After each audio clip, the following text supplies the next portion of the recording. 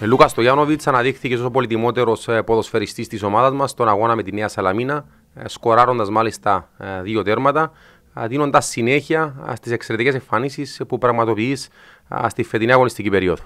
Thank you very much for this. Uh, was difficult game. Uh, I think uh, we play good like a, like as a one team who want to fight for champion, and uh, I was in a good moment, in a good situation, and I scored two goals, and I was very happy after the game, and uh, that's it. Most important is three points, and uh, we continue like this. Και πλέον ακολουθεί το παιχνίδι με τον Εθνικό, δύσκολη έξω στο δασάκι το βάδι της Δευτέρας, σε ένα παιχνίδι που η νίκη για μας αποτελεί μονόδρομο.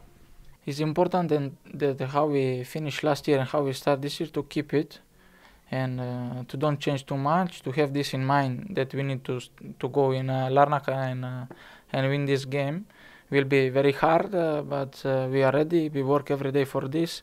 So we go there and we will attack and we will give everything to to win this this game, uh, which um, with the maximum of result and we will try to to get first position uh, to show to everybody that we we are there, we are alive.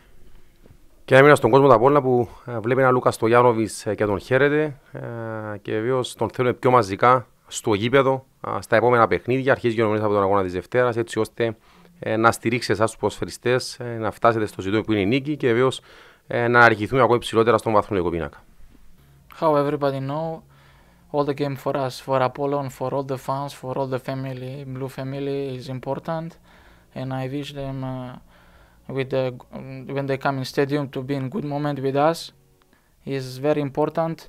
Also before playoff to come home in uh, our stadium in Syria and also away when we play because uh, it's very important and when we give everything in the pitch to be everybody together.